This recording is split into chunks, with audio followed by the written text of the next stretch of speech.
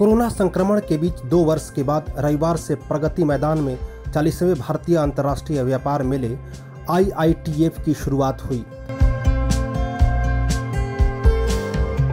चौदह दिन तक चलने वाले इस मेले में 1500 से अधिक कंपनियाँ और नौ देश हिस्सा ले रहे हैं।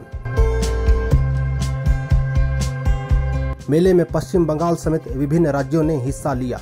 मेले में पश्चिम बंगाल की मुख्यमंत्री ममता बनर्जी की दुआरे सरकार योजना को बढ़ावा मिल रहा है।